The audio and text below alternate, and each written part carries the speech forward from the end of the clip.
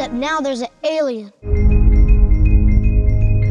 What's happening now? I don't know. I don't like the way that guy looked at us. The alien. How did he? How did he look? Like we're doomed. Maybe we are.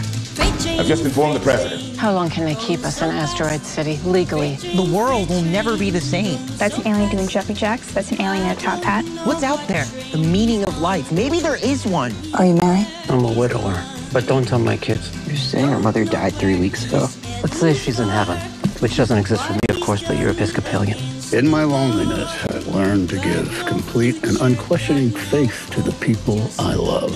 I don't know if that includes you, but it included my daughter and your four children. Sometimes I think I feel more at home outside the Earth's atmosphere. Oh wow. Me too. They're strange, aren't they? They're children. Compared to normal people. Yes, that's correct. It's true. Mm.